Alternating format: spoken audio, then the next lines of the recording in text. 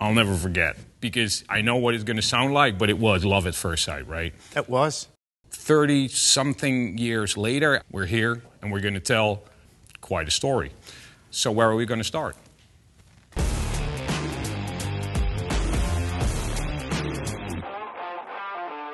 March 15, 1995. When I walked into your shop for the very first time, looking for a job. For those that don't know the story, I walked into the Lane shop and you were an entrepreneur at the age of 16. You owned the shop, you owned the salon when you were 16 with your brother. I remember smelling your sweater before you came in. I loved hair, man. I loved it so much. And I walked into you guys' shop. It was it was actually really love at first sight.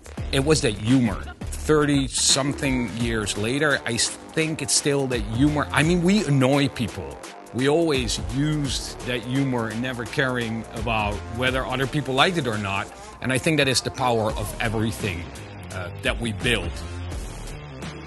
So, you didn't hire me, but you did advise me because you guys own a shop of a franchise to go talk with the big kahuna. The big of, boss. Yeah. And that's how I got my shop in Rotterdam, but I am not an entrepreneur. I just did not, I just didn't care because it was all about But hair. it was not We bringing were- in any money at all. No, I was up to my neck in debt. Yeah. And through that chain that we worked for, we kept meeting each other. And you moved to Rotterdam.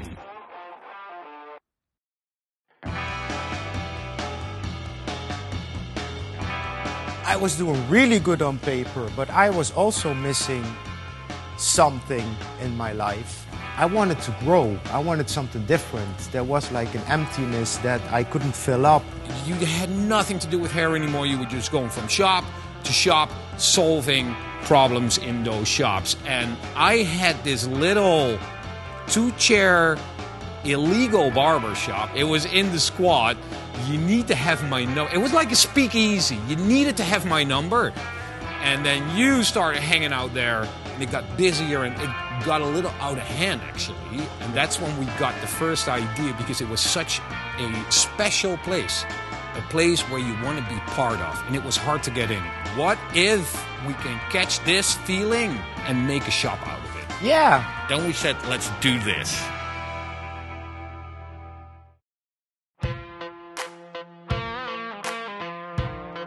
I was on the internet, I was at the library studying about this whole barber thing. And you were out there, you know, literally making plans. I had to go out there to look for a space.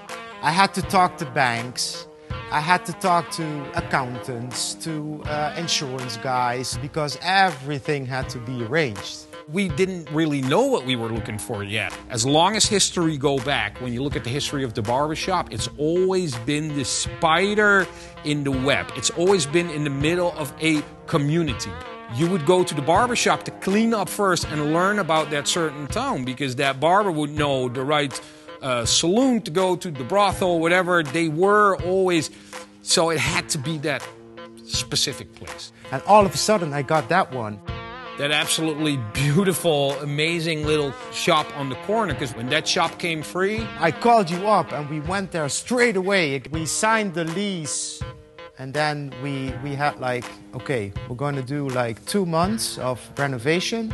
we wanted to create the place that we would want to go to. But first, We went to Ireland. Ireland.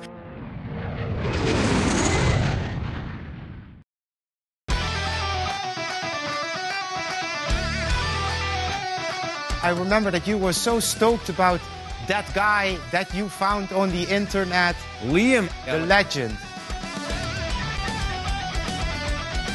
and we went to. We went to Dublin. and Liam was doing these beautiful straight razor shapes with the original razor. And I know I was obsessed. I was obsessed with that shop. That was just the first trip of so many to come in the name of Schorem and Reuzel. But to be honest, Liam was a really bad teacher. yeah, we weren't allowed to touch the razor. We were just like, you stand there. And then I took it, and he was like, no, no, no, let me show you Let me first. show you. And then all the hair was gone. We still couldn't shave. No. I got a phone call from the father of my ex wife. He had a friend that was an amateur antique collector, and he found a back bar somewhere in Belgium. You were like, let's get in the car and go there now. We drove to this very small town in Belgium, and we walk in and we go like, we heard you got a back bar. And we go around the corner. There it is, 120 years old, mint condition, all the drawers, the marble. It was made by a master carpenter. And the quality of that craftsmanship surviving through a century, going from grandfather to his son to his son. And that resonated. We were like, oh, this is it. We talked about it because you got a reasonable price, but that reasonable price Was still- half of the complete budget of the complete shop. And the moment we bought that one, everything changed.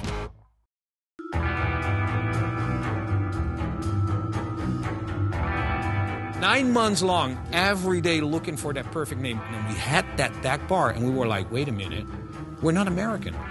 We're Dutch. That's when we started talking about a name in Dutch. We were at your house, and I was like, maybe I should Google old Dutch swear words. Gaius, rapaille, and then I saw schorem. Schorem meaning the scum of the nation, the lowest of the lowest. I remember walking into the room where you were, Igor was, and I go like, guys, I have it. I have it.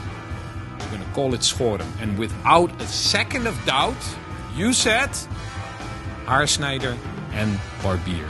That made it really classy. It made it classy. And then the ideas just started flowing. Everything had to be old Dutch. And we made a joke. If we ever make a pomade, we're going to call it Reuzel. Reuzel is, of course, lard, the, the fat of the belly of the pig. You got to understand, we were in Rotterdam, and Rotterdam has a reputation of giving nicknames to everything. You know, we love that little play of words. It's a very local thing. But what we loved about it is the very first pomades ever to be made were made out of animal fat. We literally said to each other, people go to a shop called Schorem, they might just put Reuzel in their hair. Absolutely.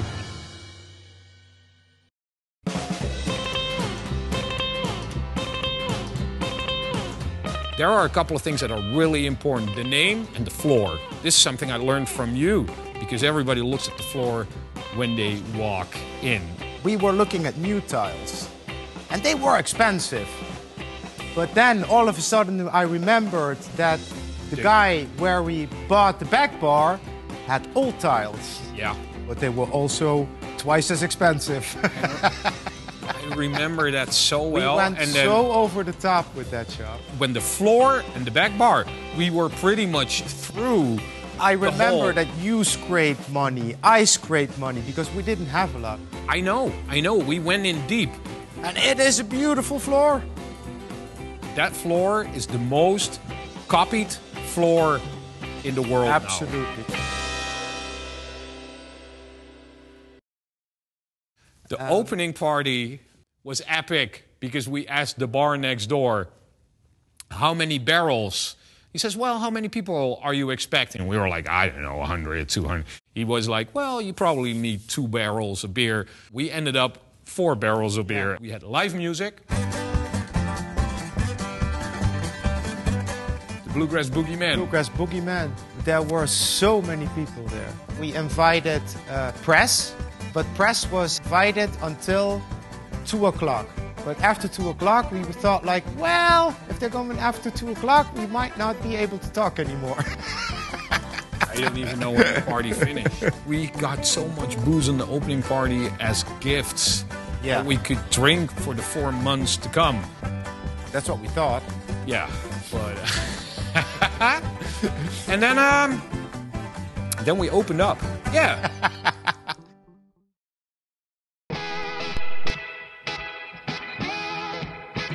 We opened up, it was mayhem. Unbelievably hungover. So We only had Yeah. opening hours. we opened at 11. Yes, because we actually calculated our hangovers back yeah, then. I had five people in a row that wanted to shave. I was panicking, like, really? Yeah, we we still thought that a shave was going to be something people would ask for like once a week or whatever, but that became the big thing. The first week was really busy. And then uh, nothing happened. We were close to going bankrupt. We had girlfriends at home. I had a pregnant wife at home. There was no money. We were about to fail. So we we had a problem. So we did what we always do when we have to solve a problem. We drank. We drank.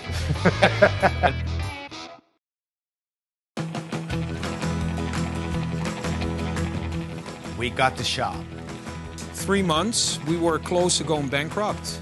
We asked friends from bands, you know what, come in, we'll give you a haircut so the shop looks busy. And it started growing. And then slowly it started growing a little bit more. So David was like, we have to show the world what you do in the shop, and we're gonna film it. So when I showed up in Rotterdam, I went to the shop and I was completely blown away. And I just couldn't shoot enough pictures. The world just couldn't get enough of the scumbag barbers of Rotterdam. This was the very, very first time that we went viral.